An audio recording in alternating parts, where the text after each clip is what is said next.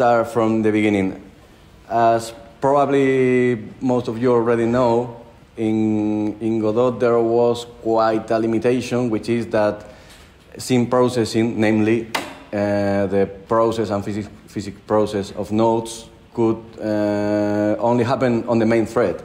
That was making them being processed sequentially, and that way you couldn't make uh, take advantage of multi-core and CPUs. That that was kind of a bottleneck. So Juan came up with a solution about uh, processing nodes in parallel in groups, but uh, in a way that can be controlled by by the user, which is kind of similar to, to compute shaders, which is you, uh, yeah, processing a number of items at the same time, and then another batch and uh, another batch. But uh, we'll, we'll get into the details now. So that's the thing. Uh, the title well says Godot 4.1 plus because this is a new thing in Godot 4.1, but it's heavily under construction. It, in upcoming releases, it will be extended, and at some point, it will be complete. It's still, let's say, experimental. But in order to understand what this involves uh, when you need to contribute to a node, because the, the main concern here is that nodes are not exactly written, the, the code of nodes is not exactly written the same way anymore. But in order to understand why, why that's the, the case, let, let's first uh, go over uh, some th threading facts. Uh, I will not assume much, uh, but at least, well, if for those of you who maybe don't know, uh, a thread of execution is a flow of execution. You have a, a program and a, a, set of instructions. They are processed. We'll see later that it's not exactly sequentially, but well, you, you, you get that illusion. They are executed, and, and that's all. The problem is that when you want uh, more than one thing happening at the same time, your program creates additional threads of execution, and that will be fine, except because of the fact that all those threads could be accessing uh, common or shared data, and strange things happen in, in how the, the instructions are, are run. So some, some countermeasures had to be put in, into work to, to prevent issues. The, the most basic approach for, in order to, to have a, a thread safe uh, well, a program engine or whatever is, uh, well, just putting uh, a, a mutex. Each class has a, a, mutex, which is something that prevents, or, that lets only one thread running that method, and the others have to wait until the, the method finished. Well, this is, this is the, the most common way of doing that in Godot. Uh, oh, you, you will see that uh, on the bottom left corner, uh, I'm putting sometimes uh, paths to some of the source code files in Godot where you can find uh, related, well, stuff related to the, to the current slide, but that's just for, for your reference. So well, in Godot, uh, gener generally, and not only in Godot, but uh, in general, the, the easiest way is each class has has a, a mutex, therefore, uh, well, each object has a mutex, and uh, only one thread can, can do something on that object at, at, a time. A big number of elements in Godot follow that approach, but that would be that wouldn't be the the best way of proceeding for parallel processing of nodes because there would be a lot of uh, lock contention. Uh, you would be threads would be mostly spending much too much time just just waiting for the locks to be to be released in order to uh, to step in. So we need something closer to lockless programming uh, for for this this new uh, parallel processing of nodes. But here uh, it is when tricky things start to happen. Uh, mhm. The, the first thing uh, you have to understand is that both the compiler and the CPU, the CPU at runtime, the compiler at compile time, are allowed to reorder the, the instructions in your program. So mm, things don't work like uh, you assumed anymore.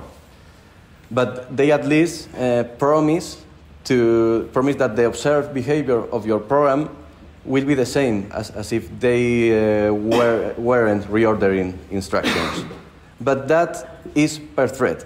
So your program has more than one thread, that uh, the observed behavior actually changes. That's the issue. So let, uh, let, let's consider, for instance, a, a single-threaded program. Well, single-threaded, trivial situation. Uh, the, this, the compiler and the CPU, even if they are reordering, they are fulfilling that promise, and this is a trivial situation. You, you, you won't see anything weird happening. Things, of course, start to get tricky when uh, more than one thread enter the scene. Let, us consider uh, this uh, little program in some kind of pseudocode. Uh, let's assume variables are uh, by default initialized to zero. Uh, we have one thread which does uh, those operations. We have another thread which does all that. so we can understand that the first thread is preparing some data and then setting the flag to true as uh, in order to publish that, that data. And the, the, other, the other thread is waiting for the data to be, to be published so it can read it and print it out uh, to screen or whatever. This, this is just all. Okay. Uh, well, let's assume uh, this program is being run. Uh, well, both threads start at the same time, and this is, this is run on a single CPU, single core, with no optimizations. The only, the only possible outcome in this scenario is that we get what we, what we expected. Uh, the program prints 1 and 2. A, by the time ready is set to true and the second thread observes that the ready flag has been set to true, it can just read the expected values from A and B. Okay, but usually we are not running stuff on, on single core uh, anymore. So, uh, let's try now with optimizations. Let's see what are, uh, what are the, the possible outcomes. Well, we can get 1, 2, we can get 1, 0, we can get 0, 2, and we can get 0, 0. And the, the, in this case, uh, the difference has been that we have, by enabling optimization, it, it, doesn't matter if it's AO1 or, or 2 or 03. It's, uh, I'm in general referring to allowing the compiler to, to do uh, its, to leverage its magic, just to, um, to get the code run faster. So if, if we enable optimizations, the compiler is allowed to reorder the instructions of the program. So uh, the CPU is, even if this is still a, a single CPU, a single core, uh, because I, I think I, I, said it wrong earlier. It, it, we are still in the uh, single CPU, single core case. The CPU would be able to hide the reordering. It, it would be just uh, scheduling threads, a single thread on, on the only core and giving a bit of time to one of the threads, then a bit of time to the other, scheduled by the OS. In that case, the, the CPU is still able to hide their instruction reordering, but the compiler has, has been naughty, so we can potentially get all those results. Uh, something important to bear in mind, I'm, I'm speaking uh, very generally. In certain architectures, inst the instruction reordering mm, done by the CPU is not as heavy. Uh, on 8, 886 and 8, uh, X, X86 and X64, there are uh, some out-of-the-box guarantees about uh, instructions not being reordered in some cases. So that's why it's it's a good thing to to test stuff on ARM as well, because on, on ARM you don't have those uh, out-of-the-box uh, guarantees anymore. So in general, you can you have to assume that if you are uh, working on a cross-platform thing, or you may be uh, you may want to port to other platforms in the future, you, you have to bear in mind that both the compiler and the G CPU will uh, eventually well, reorder instructions. Uh, now, multi-threaded program, but running this time, yeah, uh, this time indeed on multiple, multiple CPUs, multiple cores. So multiple threads can be really running at the same time.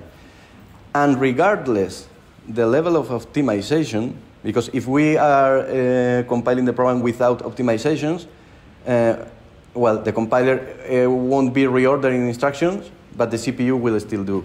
And if we are compiling with, with optimizations enabled, well, both will be doing. So regardless, uh, if, if we are not applying any countermeasure, we can again get any of the four outcomes. Uh, uh, uh. I lost. Uh, okay, so what, what can we do to prevent this without using a, a mutex that, that will, a, a mutex uh, would, just, would just be uh, locking the program so that A and B are, are written without thread 2 uh, being, being let run. And then the mutex is uh, relinquished and thread 2 can then run and, and get the values of A and B. But that would be uh, the locky approach, and that, that's not what we want for, for node processing. So we do a different kind of, uh, well, assigning a value uh, boils down to a machine instruction, which is a store, and reading a value is a machine instruction, which, which is a, a load. So store and load are our jargon from now on. So instead of writing the program in a way that it does just a regular store, we, we tell it to set the flag with a release. Release, uh, well, store release. I, I, will, I will explain it uh, in a few seconds. And the load, lo, uh, reading the ready variable, is load acquired.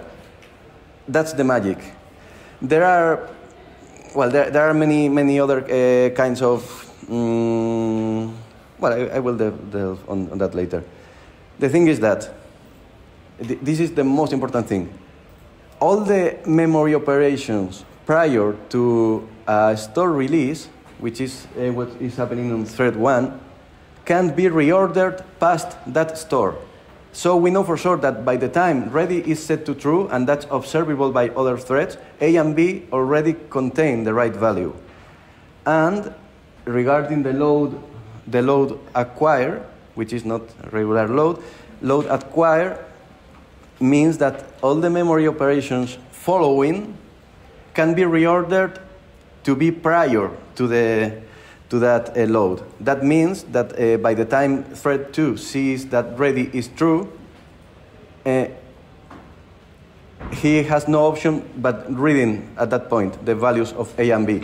No so both compiler and CPU are forbidden from having read A or N and or B earlier, just for optimization reasons. They are forbidden. So the only, the only thing that can happen is that they are read once ready uh, has been observed to be true. This way, uh, well, it, it, said that uh, a load acquire syncs with a store release if they happen on the same memory address. So ready is our, well, our sync variable. The variable, this flag we are using to tell if uh, data is ready, if data is ready to be published, is, is our kind of our sync point. And now, regardless it's single, multiple core, whatever, regardless the level of, of optimization, the only the single possible outcome is what we expected. So, how we can get that uh, load, acquire, and store release magic in, in C++? Uh, ah, well, before C++ 11, you could still had those guarantees, but uh, they were not supported by the standard, and you have to resort to volatile, which is not the same, uh, and also add some special directives to, um, which acted as compiler barriers to, to tell the compiler, well, don't order instructions uh, past this barrier. Uh, it was uh, cumbersome and no, not portable in general, but thankfully C++11 added, well, STD atomic and some with support for, well, atomic variables, as well as, this is the, the good thing, the possibility to be explicit about which kind of uh, memory ordering you want. So in, in general, and, and this is the,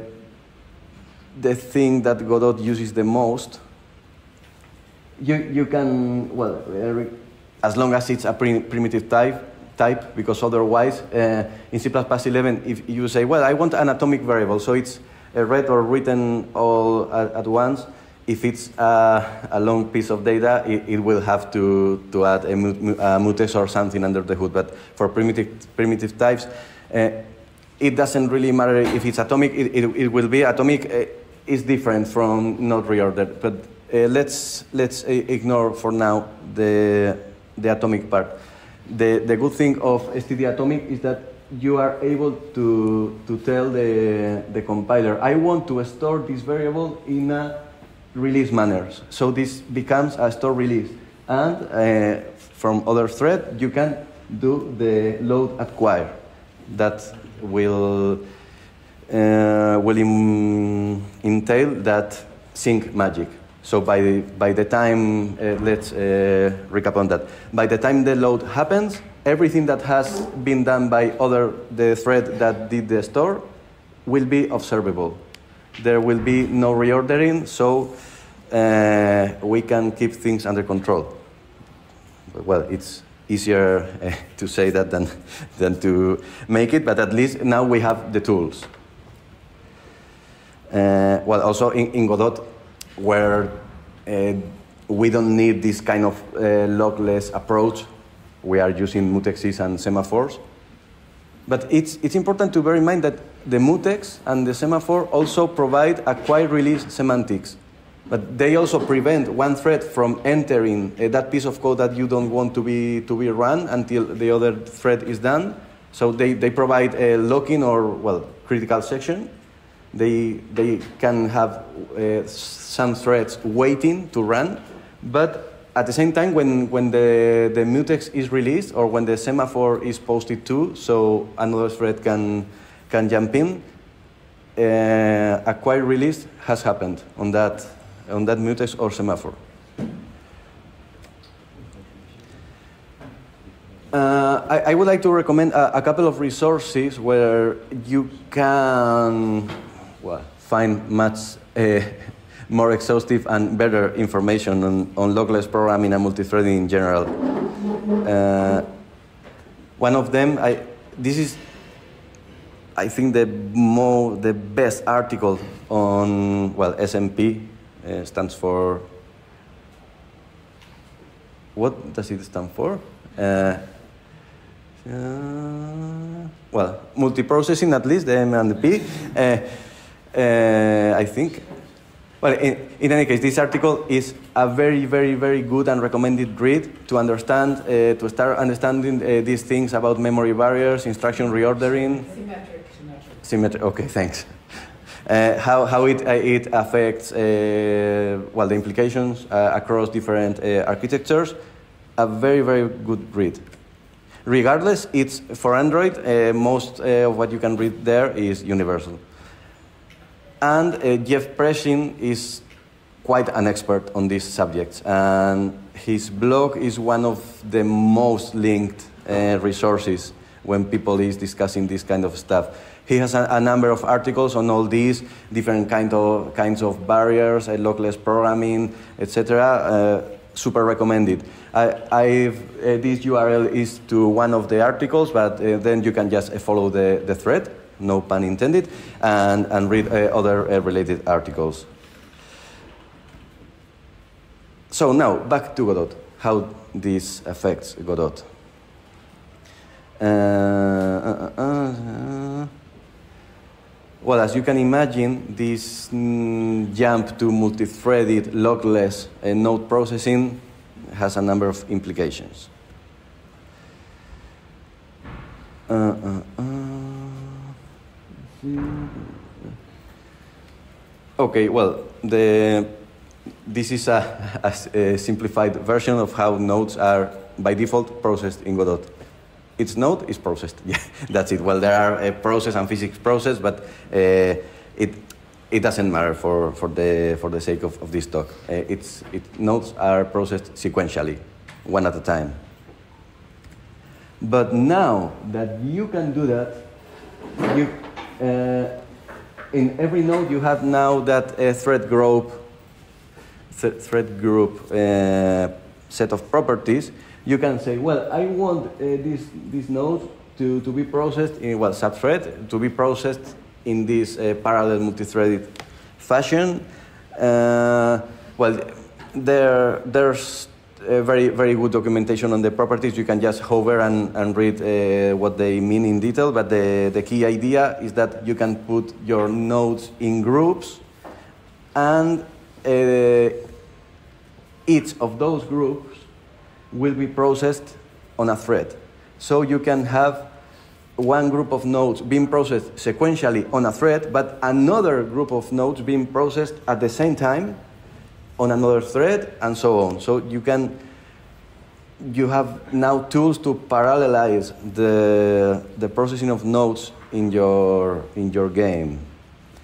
So, well, the worker thread pool, eh, if you're not familiar with it, is uh, well, a pool of threads. Uh, Godot uh, on a startup creates as many threads as cores in in your CPU, and you can you can feed work to it, and it, it will put it that work in one of of those threads until they are saturated, and if there are no threads available, the task is put in, in a queue, and as soon as possible, it will be scheduled into one of the threads. So you are not trying to run more, more pieces of concurrent work as a cores your CPU have. That's, uh, that's by design.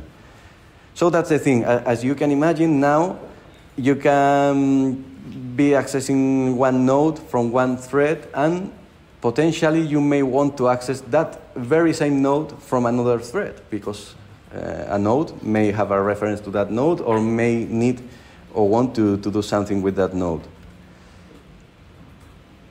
In order to avoid, uh, well, both contribut contributors and game developers from shooting themselves on their foot, uh, the same way we, we so far had uh, these Godot's uh, asserts, which are the, the air words. I mean, uh, fail condition, something is not zero, for instance, we now have a, a new set of guards, which are the, the thread guards.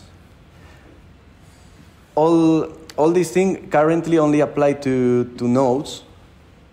So that means that, for instance, resources or scripts or some other ways of accessing shared data are not protected by, by now all that will happen in the future. But uh, so far, nodes, uh, mostly thread-safe nodes is, is what we have now. I, I, say mostly because, well, more, more work is needed on that area. Oh, this is an important thing.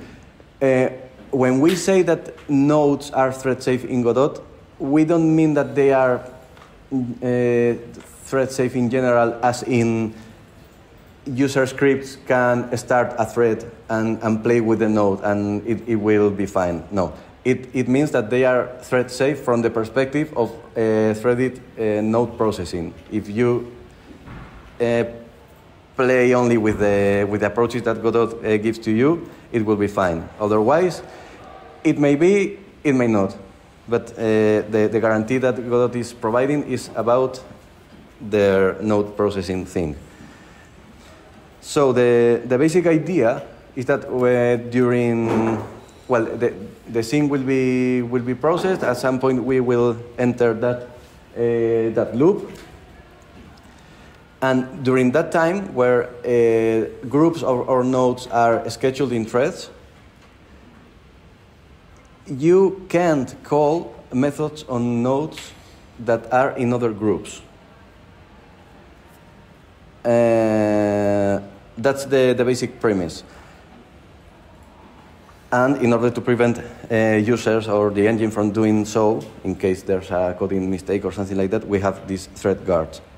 The, uh, they lie uh, in, in three groups. The, the current uh, guards we have now, I think they are a bit hard to, to understand. I, I have to, to check my notes to be sure I, I'm saying the, the right thing about them. Probably they, they warrant a, a rename or a way to, to make them uh, easier to, to be understood, but so far this is what we have. So, uh, air thread guard, well, the asterisk means that there's also the air, thread guard underscore v to return a value if it's in a getter. So that's uh, well, air thread guard enforces the basic idea. So if, if you have a, a function on a node that you can't make thread safe, even just for node processing, you just put this kind of guard and you ensure that only nodes from the same group can, will be allowed to, to run that function. That's like the, the safest bet, but of course that uh, takes functionality away. But in some cases, mm, there's no point in, in allowing certain calls to, be, to happen within uh, node processing. This is the, the other kind of threads we, the, of guards uh, we have. This uh, forbids completely, completely uh, calling that, that function or, well, the piece of code where, where this is, even during node processing, even if it's uh, within the same group. This is just a way of saying you can just ca uh, call this function the old way, only from the main thread, only during regu regular node processing.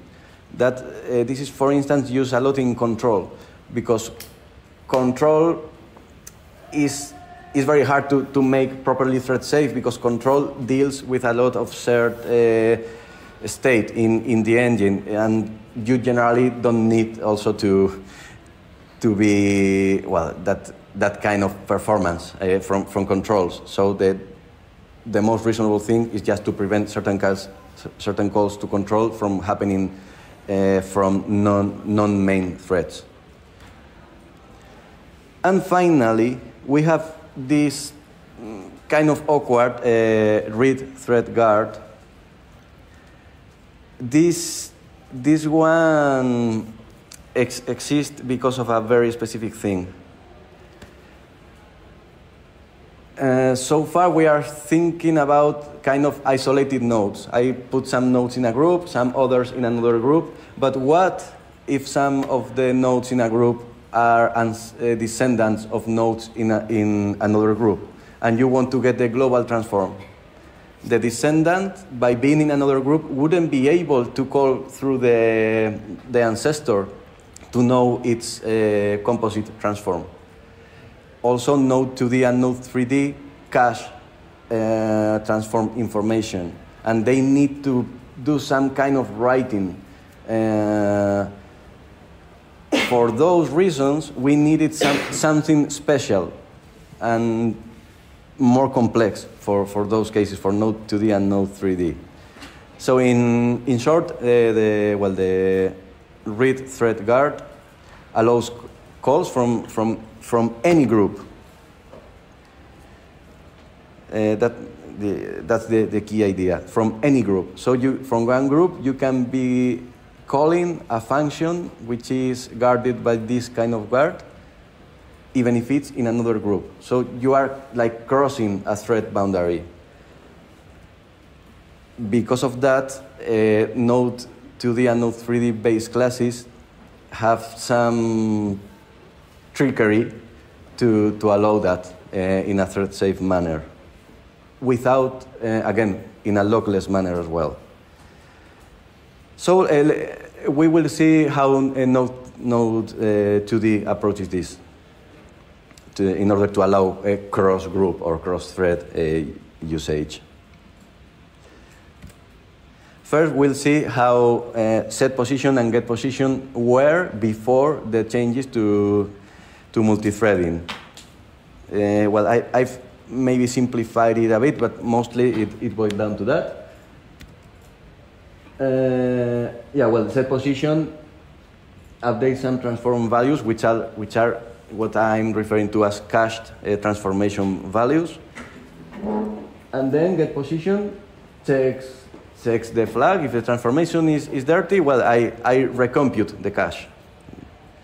And, and that's it. Okay, very well. But in this multi-threaded context, we can't do just that, just that anymore.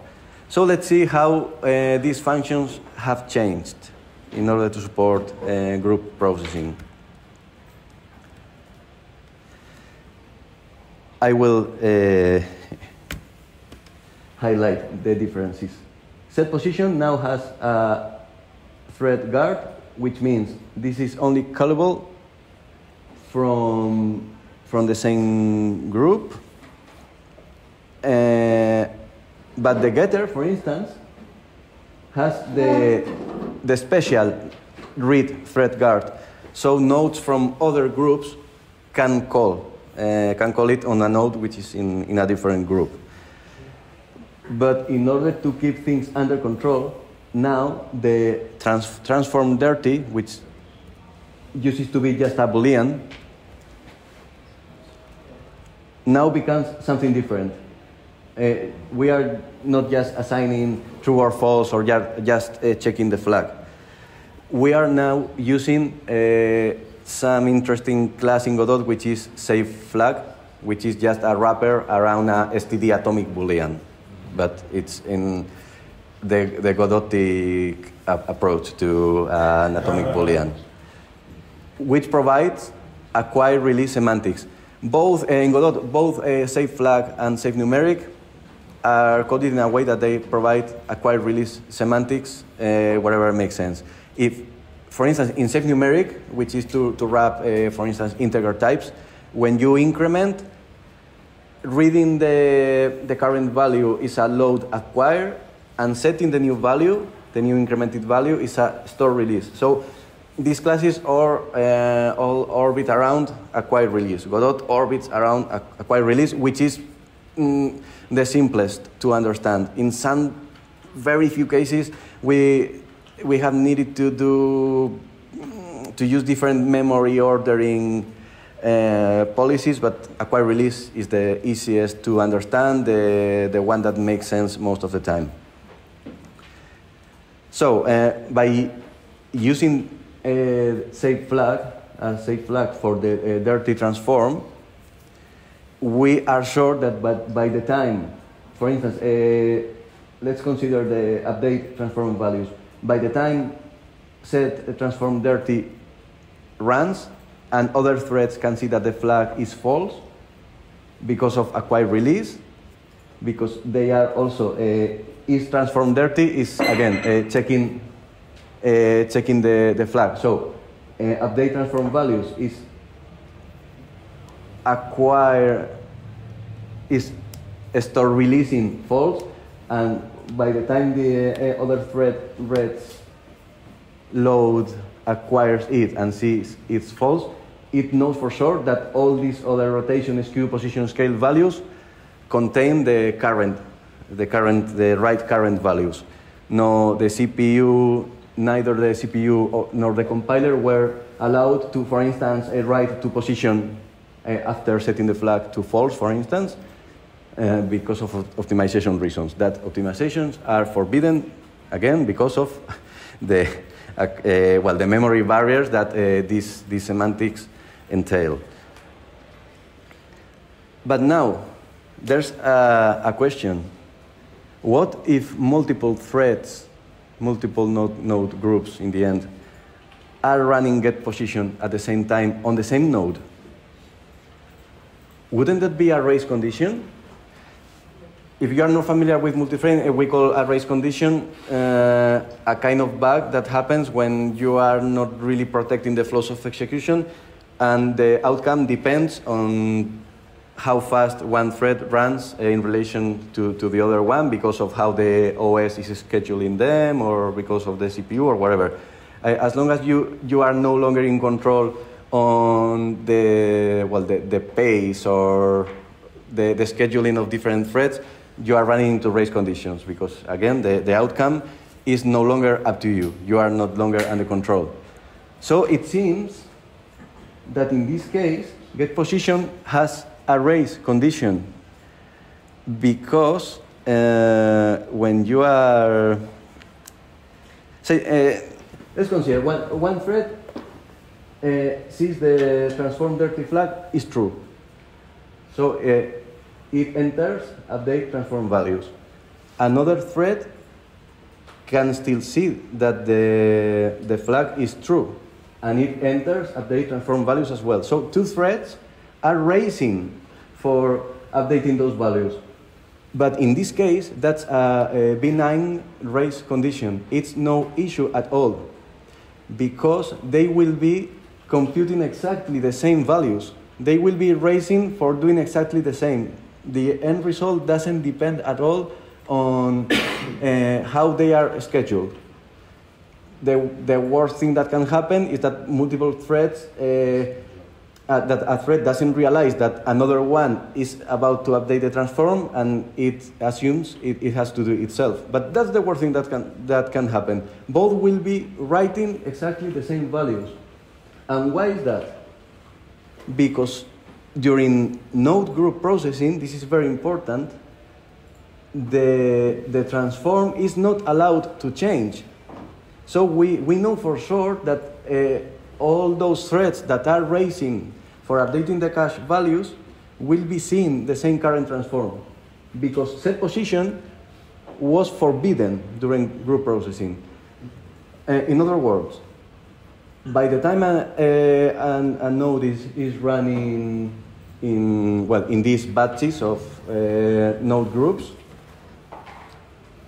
uh, whatever transform they have will stay.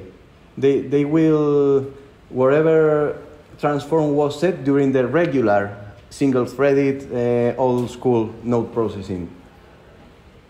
So that's, that's the thing. The worst that can happen is that multiple uh, threads are doing redundant work.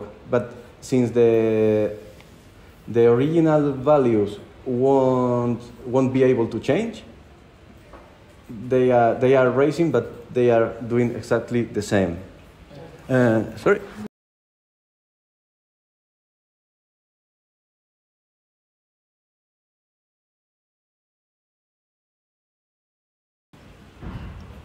Uh, let's get back on track. Well, transform dirty is no longer a plain bool. Now it's a safe flag with, uh, with acquired release semantics. So every time you have to update that, that flag, you are calling those set clear is set uh, functions on safe flag, which again have uh, acquired release semantics. And uh, it's worth saying that even though acquired release sounds uh, very lockless, like, well, no, there's no problem. The, the CPU just knows uh, what to do, but uh, there's no wait, there's no contention, there's no locking. It, they have a cost. The, the, CPU has to prevent some things from happening or has to, uh, to flash the, the cache or, or to lock the memory bus. It, it has to do some, some stuff in order to give you the, the guarantees of, uh, well, of memory ordering or, or whatever. So by using a safe flag now, we are paying that cost, that synchronization cost, even in the, in the first loop, in the, in the single threaded, the main thread loop where for standard old school classic node processing. Except we don't. Because uh, I, I told a, a little lie. it, it's not just a safe flag.